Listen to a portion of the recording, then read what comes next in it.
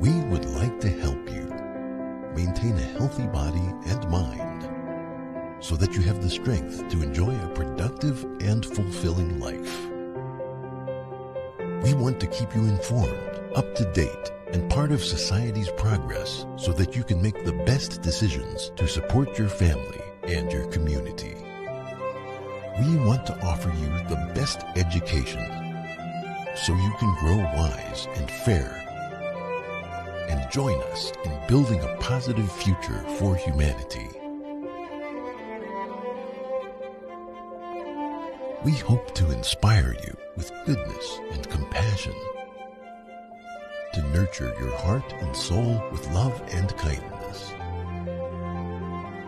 and fill your spirit with positive things. We'd like to share the tastiest meals with you because you are part of our family. We want to bring you the most interesting, funny, moving, and exciting things so we can enjoy every single day together. We want you to be the best part of our world. Kanjing World Technology for Humanity.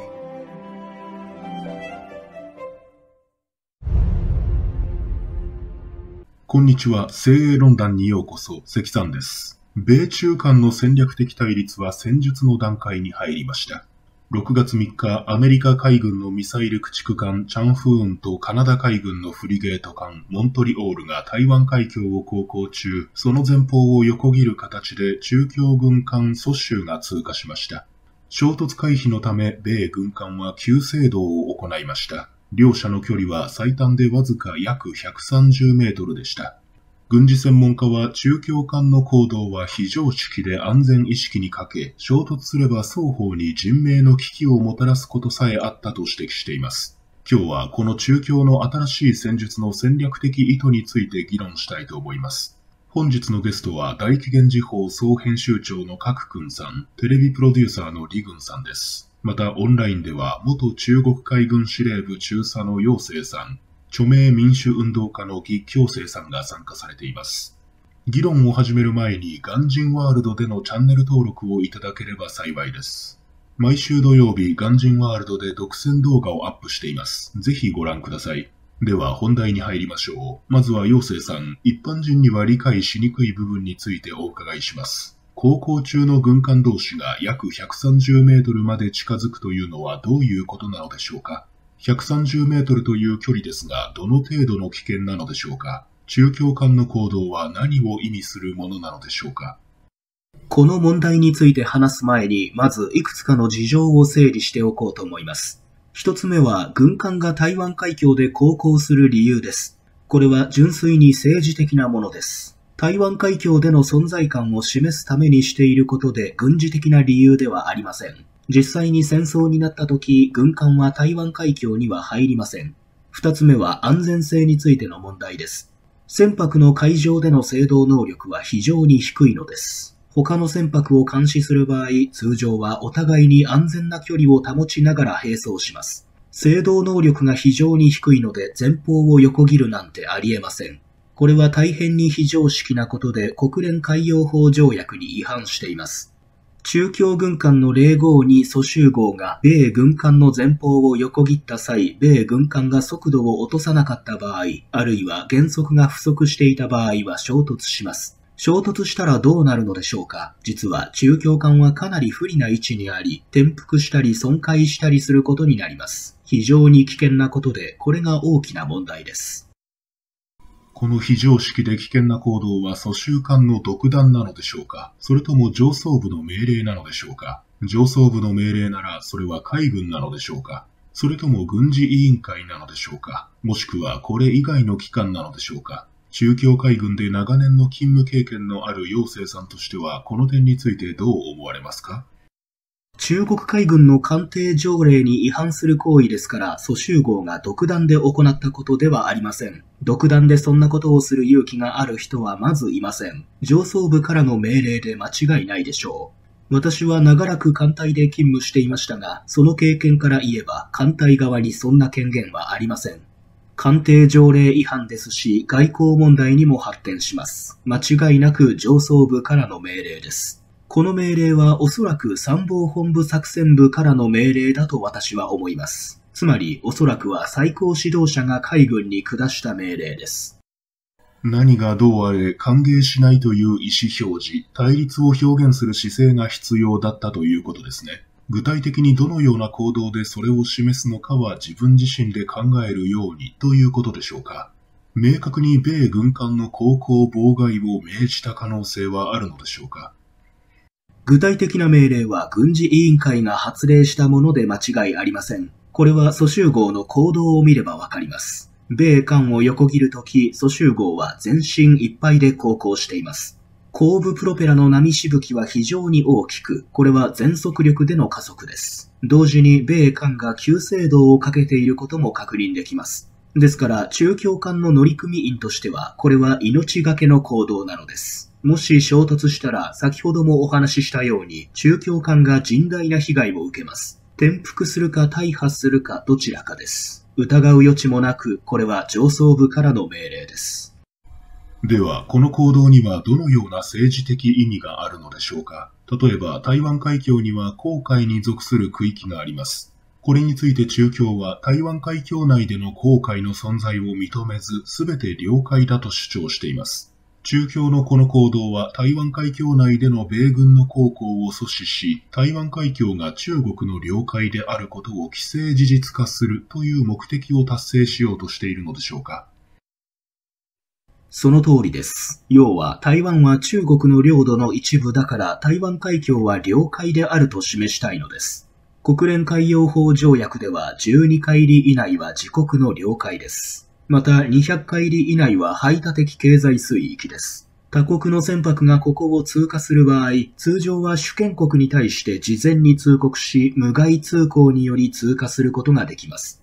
無害通行には速度、進路、艦砲向きの初期化など多くの規制があります。中国の独断による台湾海峡の混乱を阻止するため、アメリカの軍艦は自由通行で頻繁にここを航行しています。中共は現在、警告や示威によってこれに対処しています。つまり、今後そのような行動は許さない。また通過するなら衝突は必然だと示しているのです。中共はよく責任はすべて相手側にあり、我々に責任は一切ないと言いますね。その状況を作りたいのです。アメリカは自業自得なので責任はアメリカが取るべき。それによって生じた結果もすべてアメリカの責任だとそう言いたいのですね。まるで中共外交部の主張のようです。義さんにお伺いします。この件についてどのようにお考えでしょうか中共は台湾問題に関係するアメリカに対して強硬な姿勢を取ることに決めたのでしょうか中共の決定についてどうお考えでしょうか最近、アメリカは台湾への支援を強化しています。いくつかの協定を結び、武器輸送を加速させています。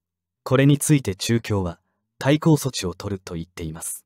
これもその一つでしょう。一方、ここ数ヶ月、バイデン政権は必死に中国のご機嫌取りをして、なんとか中国と対話しようとしています。しかし、中共から無視され続けています。こんな状況なので、中共は、アメリカが弱っている。あるいは少なくとも及び腰になっていると見ているかもしれません。今なら、例えばアメリカへの報復などを行うことができると考えたのでしょう。今回もそうです。アメリカが及び腰となるように緊張を高める。少なくとも緊張により心理的圧力をかける。それが中共の目的です。しかし、今すぐ戦争が始まるとは限りません。本当に戦争を起こすつもりなら、このような行動は取らないでしょう。そうですね。習近平は最近国家安全委員会国安委での会議で極限志向と停戦志向を強調しています。また様々な緊急措置、時には苦難の荒波にも対応できるような準備を党全体に対して要求しました。そこで義さんには2つの質問があります。1つ目は、この停戦思考と極限思考とは具体的にどういう意味で、両者にはどんな何か違いがあるのでしょうか二つ目、習近平の心中の苦難の荒波とは何を指しているのでしょうか？アメリカとの対立の激化を意味しているのでしょうか？習近平の心中の苦難の荒波には、そういった意図があると思います。少なくとも内部での心理的な先導を意図しているのだと思います。極限思考とは、極限状況下に置かれた状況を想定することです。停戦思考は、最悪の状況を想定することです。これらは中共のスローガンですが、中共はそういったスローガンを作り出すのが好きです。中国で暮らしたことのある私たちは、幼い頃から数えきれないほどの新しいスローガンを耳にしてきました。スローガンは、その意味を理解するのに時間がかかることもあり、時には完全に見当外れのこともあります。停戦思考などもその類です。あなたがどのような状況を最悪と思うのかは、誰にもわかりません。人によって最悪は違うのです。共産党もまた時期によって最悪のラインが違います。どのように考えればいいのか。これでははっきりしません。そうではありませんか。一方、彼の言う苦難の荒波は注目すべきです。少なくとも習近平と彼の派閥は、台湾との戦争を引き起こす意図を持ち、計画していることを示すものです。現在、国内情勢は非常に悪く、国民の反発も頻繁化しています。党内での抵抗力も非常に大きくなっています。例えば、白紙運動や指通教での横断幕掲示などからそれがわかります。これらは単なる民衆のデモではありません。権力層が背後で協力しなければ実現不可能なことです。現在の監視制度の厳密さを考えると、誰かの協力なしには長時間にわたって白紙を掲げたデモをすることは不可能です。多くの荷物を指通橋の上に運び、橋に横断幕を掲げてから、橋上でタイヤを燃やすことも同様です。すなわち、こういったことから内部構想の激しさが伺えます。習近平が内部構想を知らないわけがありません。彼は激化する内部対立を解消するために戦争を引き起こす可能性が非常に高く、その可能性は高まる一方です。現在、彼が苦難の荒波や停戦思考を強調しているのは、おそらくこの意味だと思います。一つ疑問があります。習近平や中共はなぜ是が非でも台湾との戦争を計画するのでしょうか戦争を引き起こすだけなら他の選択肢もあるはずです。なぜ台湾でなければならないのでしょうか現状では台湾との開戦は自分自身がとてつもない難局に陥る可能性があります。この問題は複雑に見えますが、実際は非常に単純です。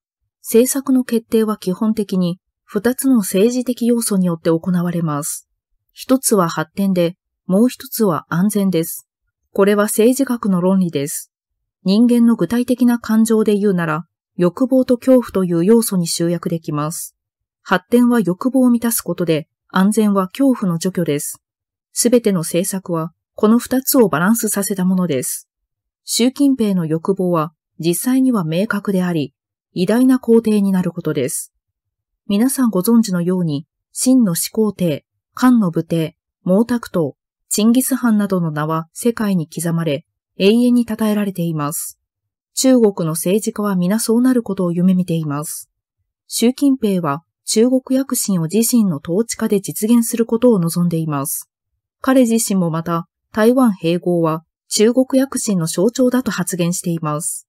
そのため、彼にとっての恐怖は、彼の罪を評価する人物の出現であり、彼の政治的要求が達成された後に、彼が打撃を受けることです。それを防ぐために、習近平は再任を望み、終身制を望むのです。実際、終身制の実現には、定位樹立のための合法的正当性が必要であり、そのために彼は権威を示す必要があります。愛国主義市場の正当性を確立するには、台湾問題を解決する必要があります。国家統一が実現すれば、彼は中国の台頭を率いた偉大な指導者となります。当然ながら、台湾統一で最大の障害となるのはアメリカです。この単純な論理から推論すると、習近平の言う苦難の荒波は間違いなくアメリカとの戦争を指しています。現在の中国の最大の懸念は、習近平の周囲で情報の孤島が形成されることです。これは権威主義体制では克服困難な問題です。知人に1949年以前の中共軍で軍事情報部に所属していた年配者がいます。軍属当時の彼の職責は非常に明確で、情報の正確性の確保でした。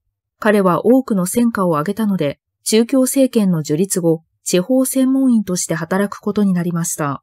1959年に大躍進が始まった時、彼は1ムー15分の1ヘクタールあたりの生産量は何千キログラムだという宣伝文句に疑問を感じました。彼は自ら農地へと調査に赴き、報告書を書きました。その報告書には、1ムー15分の1ヘクタールあたりの収穫量1万斤5000キログラムは偽りだと書かれていました。その結末は想像できるでしょう。それから彼は冷遇されるようになり、二度と徴用されませんでした。つまり、このような政治的環境では、いわゆる情報の孤島が生まれてしまいます。制度的に虚偽の報告が求められ、意思決定者は真実の情報を得ることができなくなります。この場合、誤ったともすれば、口頭無形な意思決定がされる危険性があります。プーチン大統領がその一例です。彼はウクライナを2週間で処理できると考えていました。しかし、現状は悲惨です。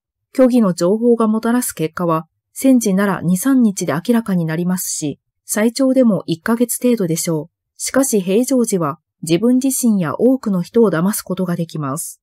その結果が明らかになった時は、すでに手遅れで取り返しのつかない状況になってしまいます。現在の中共は精神異常に陥っていると私は思います。再起は最近、中国国民に習近平思想を学ぶよう要求し、心に染み込ませることを求めています。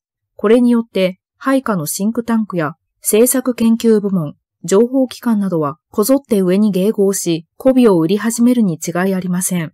習近平らの見ている世界と私たちが見ている世界は完全に別世界です。そのため、私たちには理解できないこともあります。ゼロコロナ政策もそうです。彼らが見ている仮想世界では、絶対に成功する政策であり、失敗したとしても、せいぜいほんの少しの苦難の荒波なのです。李軍さん、台湾海峡での米中海軍の対立事件が発生した数時間後、シンガポールのシャングリラホテルでアジア安全保障会議が開催されました。米中の国防省が出席し、相互に協議し合い、口論もありました。直近で発生したこの事件はもちろん大きな関心事となり、双方が言及すると思います。彼らがどのような意見を表明したのかご教示願います。オースティンアメリカ国防長官は、会議で以下の4点について主張していました。1つ目は、軍艦や航空機の迎撃問題。2つ目は、南シナ海の問題。3つ目は、台湾海峡の問題と台湾の問題。4つ目の問題は、インド太平洋戦略の問題。一方、中国はアメリカと対立する立場でした。すべてアメリカに責任があるとしています。挑発したのはアメリカであり、実行したのもアメリカであり、分裂、混乱させたのもアメリカだという主張です。まとめると、すべてはアメリカの責任であり、自分たちに非は一切ないということです。また、今回の軍艦のニアミス問題の少し前に中共軍用機の攻撃的飛行の件も含めてオースティン国防長官は攻撃的であり、全くプロフェッショナルでない行為だと主張しています。これに対して中共は私たちの行動は完全に正当であり、非常にプロフェッショナルだと即座に反論しています。中共の言うプロ意識が何なのか、私にもわかりません。台湾の問題についてオースティン国防長官は、台湾海峡で戦争が勃発すれば、それは壊滅的な最悪となるだろうと発言しています。そのため、アメリカは衝突回避に向けて台湾海峡の現状維持に最善を尽くしています。これに対して中国は、白黒を逆転させたのはアメリカだと反論しています。また、ホワイトハウスは非常に興味深い声明を発表しています。アメリカを太平洋の大国と定義したのです。そうですね。確かにそうです。ホワイトハウスはまた、インド太平洋地域は私たちの地域です。私たちには約束があるので、引き下がることはありませんと言っています。現在、アメリカと同盟を結ぶ国は7カ国あり、そのうち5カ国はインド太平洋地域に位置しています。さらに、国際的な経済秩序もここにある。撤退はできない。ここに留まらなければならないとも言っています。一連の声明は、アメリカの強硬姿勢を表しています。中共側はこのように言っていました。なぜ自由航行を台湾海峡や南シナ海で行うのか、オーストラリアやヨーロッパ、日本ですればいいのではないか。実際これは非常に高等無形な話です。アメリカの軍艦は世界中を航行していて、台湾海峡だけを航行しているわけではありません。台湾海峡でのみ許されないことを強調したからこそ逆にその得意性が際立ってしまっています。私が特に注目したのはその会談でのフィリピン国防長官の言葉です。彼らの国のマルコス・ジュニア大統領が北京を訪問した際、習近平と非常に良い対談ができたそうです。会談では中国・フィリピン間の協力関係が確認され、習近平は平等な海域共有などを約束しました。しかし同時に中国の海軍や沿岸警備隊、海上民兵はフィリピン漁民を海域から追い出したのです。中国、フィリピン双方が漁業のできる仕組み作りをするというあなたの提案はとても素晴らしいものです。しかしフィリピン人は歴史上ずっとここで漁業を営んできたのになぜ突然追い払われるのでしょうか。フィリピンの国防長官はそう言って怒りをあらわにしました。このような状況のため、東南アジアの国々では安全保障上の懸念が生じています。だからこそ彼らはアメリカに頼ったのです。台湾問題に対するアメリカの姿勢は大変に注目を集めています。その中でも特に注目されているのが、米海軍インド太平洋軍司令部の態度です。そうですね。インド太平洋軍司令部は最近、大変重要な内容を発表しています。もっとも、習近平を含む中共にそれが理解できるかはわかりません。第一に、アメリカの最優先任務は戦争の阻止であり、これに尽力すること。第二に、戦争を阻止できなかった場合の最優先任務は、何としてもその戦争で勝利すること。司令部のこの発言は、台湾に向けて話している可能性があると思います。なぜなら中共は現在、台湾で対米、会議論を吹聴しているからです。会議論には以下のようなものがあります。第一に、アメリカは戦争をしない。第二に、戦争になったとしても、アメリカでは中共軍に勝てない。第三に、戦争に勝ったとしても、台湾はアメリカに利用されるだけ。このためアメリカは、我々は戦争を全力で阻止するが、阻止できないなら必ず勝利すると中共に対して声明を発表したのです。この声明により、台湾での対米会議論は即座に払拭されました。その後のインド太平洋司令部の声明は、重みが深まっているように思います。例えば、習近平がプーチンのように戦争を選択した場合、戦争の結末をどうするかは習近平が決めることではないと発言しています。これは非常に重い言葉です。習近平は開戦を選択することはできますね。はい、開戦の選択はできますが、戦争の終え方についてはアメリカが決めるということです。司令官は他にもいくつか発言していますが、それもまた中共に重圧を加えるものです。一つ目は、戦争は電撃戦ということはあり得ず、持久戦になるということ。二つ目は、戦争になった場合は非常に悲惨な結果になり、人々の生命と財産が甚大な損害を被るということ。この発言の意味についてお話しします。ランド研究所というアメリカのシンクタンクが、米軍に対して行った提案に関する資料を見たことがあります。その提案は、中共軍との戦争において、中共軍の補給線への米軍の攻撃の必要性を説くものでした。補給線への攻撃とはつまり、沿岸地域の交通要衝、鉄道、高架橋、そして北部の重工業基盤、南部の製造業基盤への攻撃です。これらすべてを破壊しなくてはならないと言っているのです。この戦略では、台湾はもはや戦争の主役ではありません。実質的に米中の戦争です。そうですね。以前の朝鮮戦争に少し似ています。あの時も主役は米軍で、韓国軍は協力するだけでした。台湾海峡で戦争が勃発した場合、悪入りの米軍インド太平洋司令官の言葉通りなら、戦争は米軍が主導し、いつまで戦うかも米軍が決めることになります。中共は開始の選択はできますが、終わり方についてはアメリカが決めます。習近平がこの言葉の意味を理解できたかどうかはわかりません。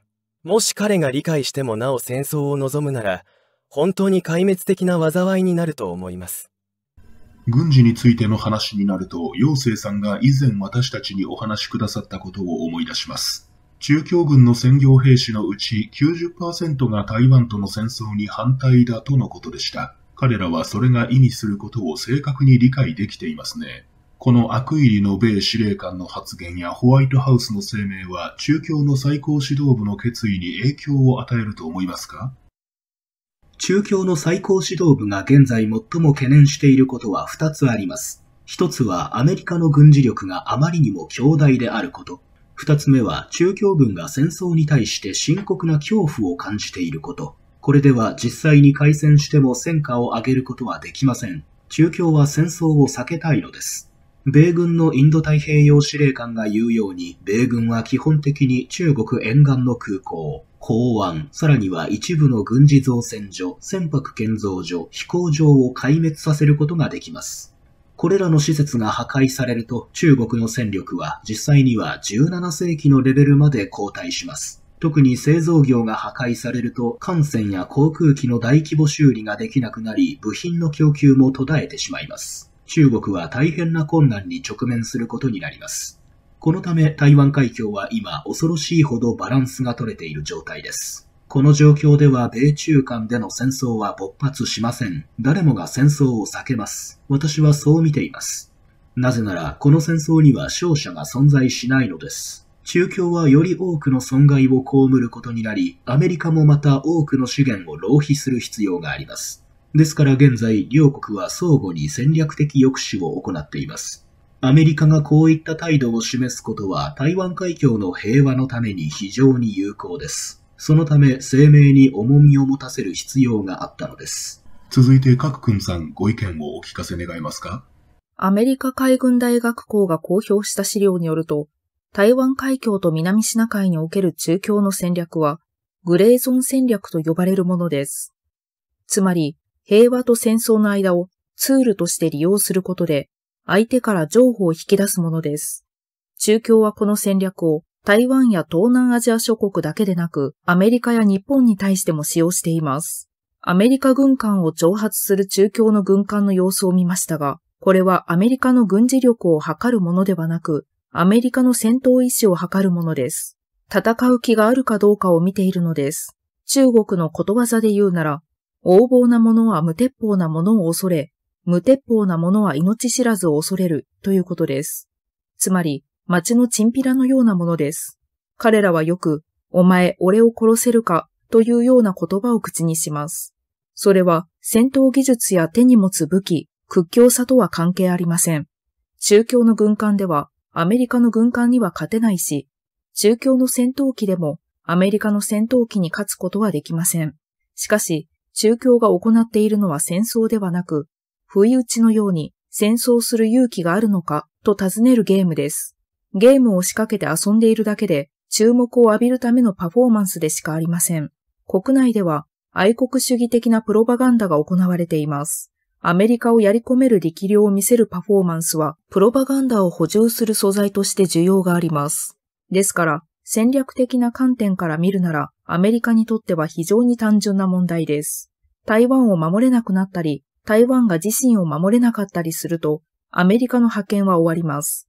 どのような方法で、その戦略目標を達成するかは、その時の状況によるでしょう。現在の状況は非常に明確だと私は考えています。中共とアメリカの1979年以来の蜜月期間は完全に終結し、両国の関係は過去の戦略的協力から戦略的対立へと変わりました。全面的な対立はすでに始まっています。口先では多くのビジレイクを述べるかもしれません。しかし見る限り、両国の行動は強硬化する一方です。さらにアメリカは戦争の準備を整えています。すでに軍事力の60%をアジア太平洋地域に配置しているのです。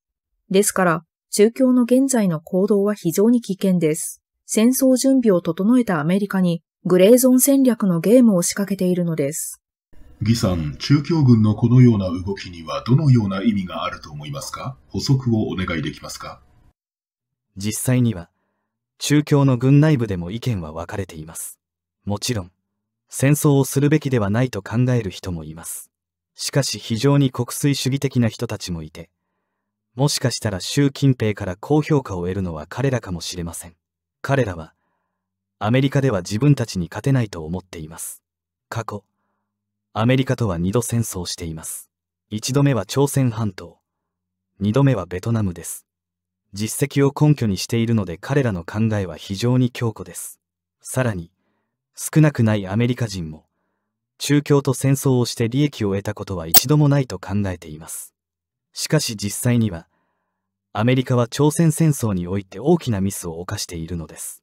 それは、北朝鮮とだけ戦い、局地戦争としてしまったことです。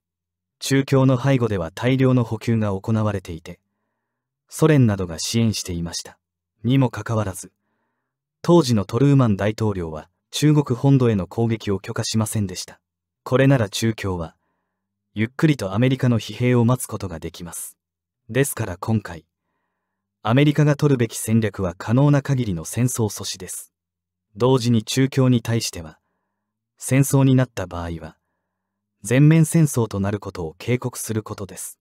後方に隠れたままではいられないことを、中共に教えなくてはなりません。それができたなら、中共内部の反戦派の人数は増加すると思います。自分の財産が被害を受けるのは、多くの人が避けたがるからです。もしアメリカが全面的な攻撃を開始し、中国の工業や港湾が封鎖され、工業施設の一部が破壊された場合、中国国内の状況は非常に悪化するでしょう。戦争反対派の声も大きくなると思います。アメリカの実際の戦略は戦争阻止です。手の内を明らかにして、ここに虎がいるが、まだ命がけで遊ぶつもりなのかと警告を送っているのです。習近平がこの警告を理解できるかどうかはわかりません。もし習近平が熱病に侵されたようになると、彼の愚かさが計算要素に入り予測が難しくなります。先ほど角さんがおっしゃったように、彼の周りには多くのご機嫌取りがいます。習近平が何を言ってもそれが絶賛され、どうしても極端な方向に進みがちになります。彼が1と言ったなら周囲は2と言わなければならず、続けて3と言わなくてはなりません。この状況では、損失を計算できず回線に踏み切る可能性があります。はい、そうですね。そろそろお時間となりました。非常に素晴らしいご意見をくださった専門家の皆様ありがとうございました。ご視聴いただいた皆様にも感謝申し上げます。次回の番組でまたお会いしましょう。